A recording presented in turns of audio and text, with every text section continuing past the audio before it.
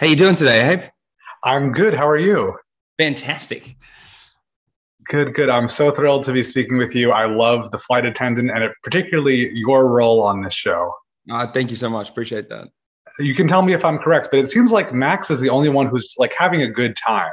That he's part of this adventure and he knows that there's high stakes, but he's also he's really excited about it. I think it is something we found early in the first season that he's very curious and enjoys the the puzzle and the mystery of it all.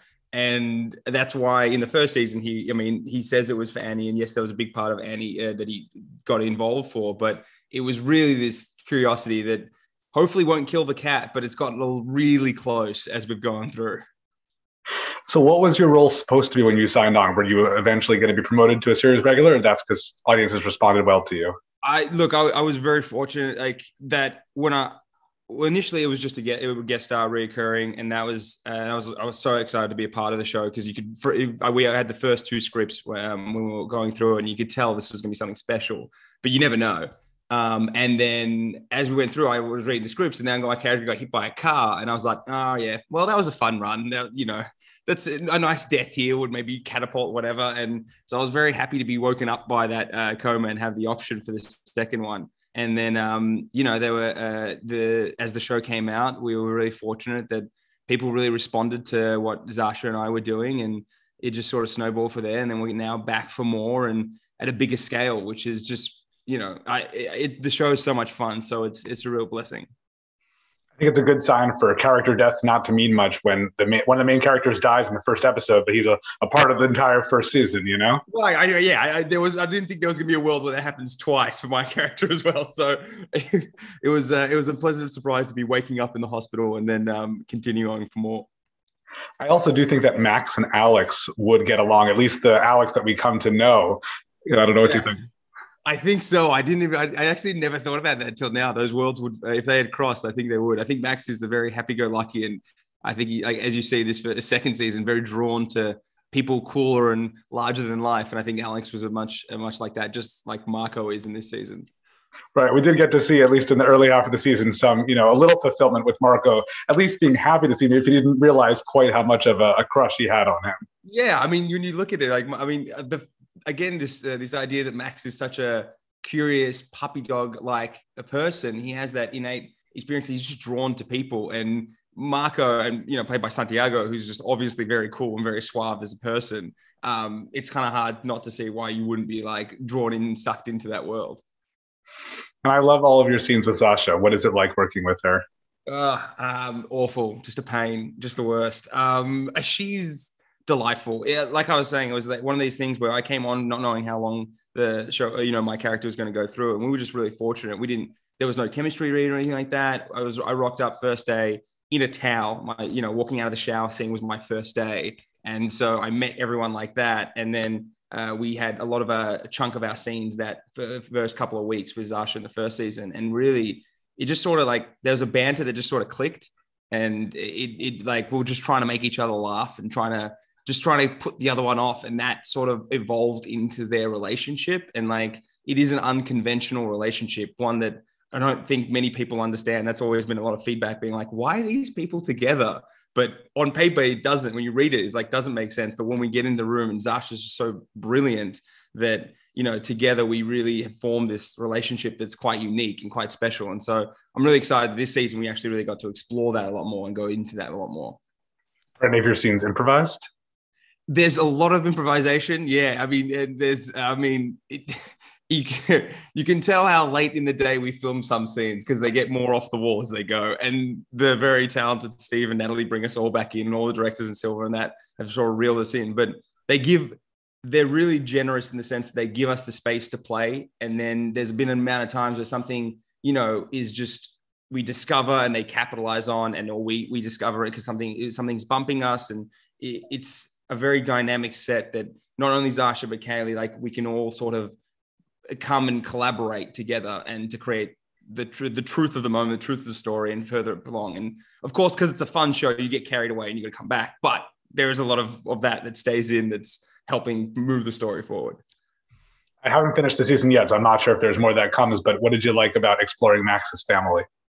Um, I was very surprised at how spot on the mannerisms of both the mother and father were close to mine. And having them not casting, not even knowing my parents, I was kind of taken back that this is the magic of casting, the you know the all powerful knowing casting that have to be able to pick it so well. Um, I do love that we you know you you saw where that innate like uh, you know like curiosity and uh, and sort of not weirdness, but just that you know that that uh, uh, outcastedness of uh, Max comes from, and I, I, was really happy that they had the time to really explore that, and I think it was a you know a good opportunity to cha- to challenge and test this relationship that seemingly it you know as you know it works at times really well, but now as we see also there's a flip side that it, it really can be pushed to the edge. And that, of course, led directly into the one of the most intense scenes of the season, which looked like it was going to be worse for Max than his car accident with some torture and possibly certain death. But then, almost, you know, very strange that they just left, which was very, very interesting.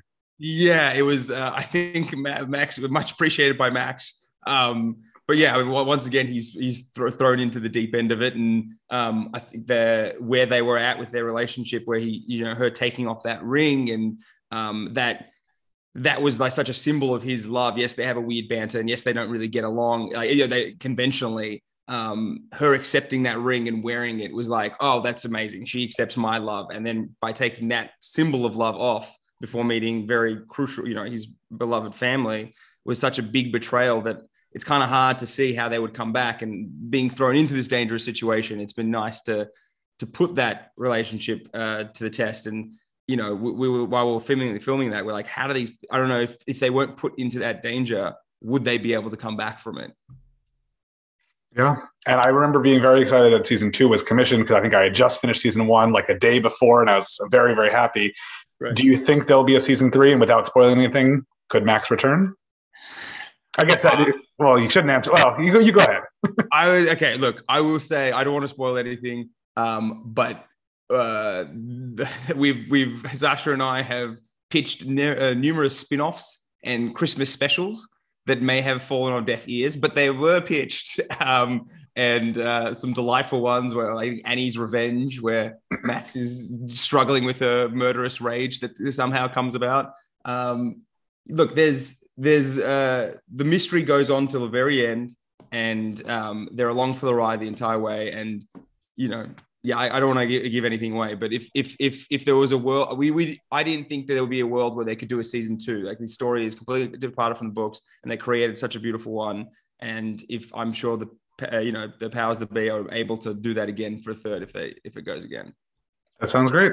I've also seen you on some other shows like The Cleaning Lady and especially United States of Al, which is something that I I really I don't even think I recognized you, but I just I I like that show and it's it's so completely different from this one. What was it like guest starring there?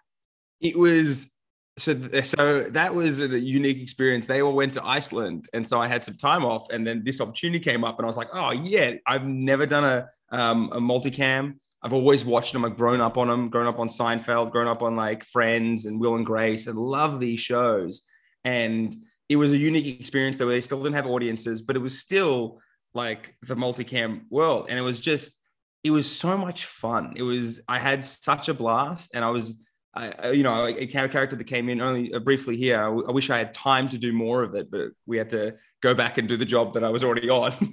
um, so, uh, but yeah, I like I had such a blast doing that, and it was very, it was very different to what I mean dealing with. I mean, there is a heightened reality in flight attendant, but that world, it's it's it's so like it's so different and so unique, and I was very um, happy to be a part of it. And again, the cleaning lady again was something that was so different as well. Like these. Uh, uh, the, that role was something very different than I've done before in the past, and I was really uh, uh, pleasantly uh, to do that opportunity. And again, that was something that flight attendant drew me away from as well. So I hope to return to that, and I think there might be a possibility. They sent me, they had to send me away for that one, off to fight the good fight in Azerbaijan and Armenia for that one. But that was also a lovely experience because they're telling a beautiful story about you know that you don't really see on network television um, it mixed obviously with the crime and the drama, which I'm more heavily involved in. But I, th- I think Cleaning Ladies are uh, they've done really well in telling such a unique story.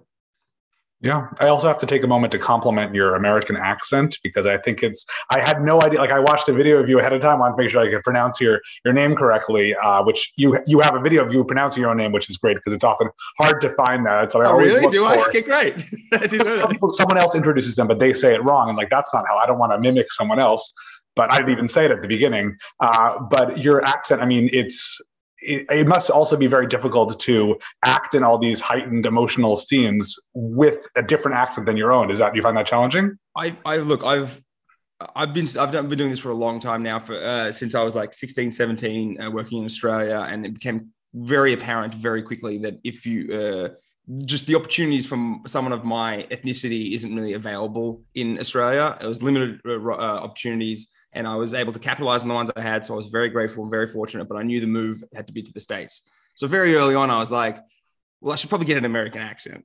so there was hours of training and um, working with it. So that, like you said, it's the last thing I worry about now. Like I don't have to if I'm if I'm thinking about the accent and then that I can't be truthful and in the moment and paying attention to what's happening in front of me and there's so much always i mean I'm, I'm very blessed to be in front of some powerhouses. So if you if you miss a moment of it you're left behind. Um, so it was something i started early on. That was actually really lovely foundation work that's helped me be able to play um, you know roles that are english like i have done the colombian accents and like you and it, it, this dialect is such a, another craft of ours that is able to you're able to tap into and it opens so many more doors and stories and characters that you wouldn't be able to play before if you didn't have that foundation. So you know, it was it was a lot. I mean, early on, it was kind of like, oh, I've got to do this like like American accent work, but it was like it was a it was a bit of a burden. But now it's become a, quite a, a strength in the long run, which has been I'm really fortunate for. That's great. And do you have any other upcoming projects you can share? Yeah, I literally just got so this this is like midday for me because I literally got back from New York. I was filming a, a film uh, called Beth and Don with Julia Louis Dreyfus. Um, she's reunited with Nicole. They'd done um, just enough, uh, uh, um, uh, enough said, just enough said. Sorry. Um, uh, this, this, is the new film they're re, uh, coming back on, and I get to play um, opposite Julia Louis Dreyfus. So again, I grew up on Seinfeld. I grew up on Veep. Um, uh, it was a surreal experience. So th- that was really fun. I'm looking forward to that coming out. And then um, I think you know, hopefully we got more of Cleaning Lady to come as well. They've, they've been picked up. So if the, if the story uh, allows it and the time allows it and schedule allows it, I think we'll be back there doing more. That sounds great. And I can't wait for the Annie and Max uh, Christmas special or whatever it is that's coming. Yeah, I think the Christmas special is going to be a good one. Hopefully, I, I think that's the only one that's got legs because it's, it's condensed. Can, a spin off is like entire season. That's a lot of money. Whereas like a spin off, oh, sorry, a Christmas special, it's like a, it's an episode. 40 minutes. I think I think HBO Max has got that in the, the piggy bank. There you go. You heard, you heard it here first. Thanks so much, Deniz. It's really nice to meet you. Likewise, mate. You take care. Cheers. Take care.